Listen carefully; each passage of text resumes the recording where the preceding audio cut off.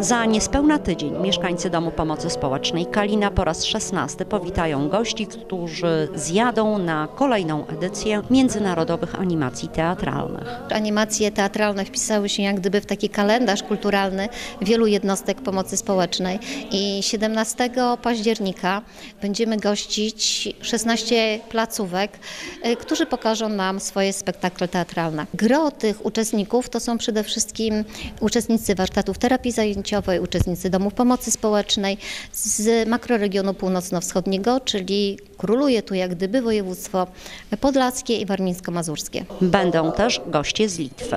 Tymczasem w Kalinie mieszkańcy przygotowują własny program, który zostanie pokazany w prezentacjach artystycznych. To jest jakieś takie jakby, jakby nowe, nowe przedsięwzięcie, nowe wyzwanie.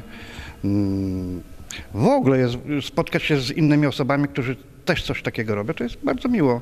Wymianie, y, wymiana jakiegoś doświadczenia chociażby nawet. Podopieczni Kaliny chętnie więc uczestniczą w próbach, a tegoroczny program parodiujący audycję telewizyjną pełen jest gagów i dowodzi ogromnego poczucia humoru. Tym razem będzie o mężczyznach. Jak się zachowujemy, jakie są nasze, nie wiem jak to określić, no, y, mm, znajomości wo- wobec kobiet, prawda, że, że, że jesteśmy czasami nie, nieznośni.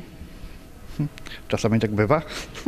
Ale tę krytykę podajecie Państwo w Y, w- tak, w, w formie humoru, żeby było weselej, prawda? Bo nie, nie, wszyscy, nie zawsze tak jest, jak, jak się opisuje. Jak nie piłeś? Przecież widzę, że nachlany jesteś pestkiem. Nie piłem, ja cię kocham, kocham, nie piłem. Chociaż dzisiaj z okazji Dnia Kobiet powiedział mi prawdę. To zrobiłem to dla ciebie, kochanie, bo powrócę jesteś taka piękna.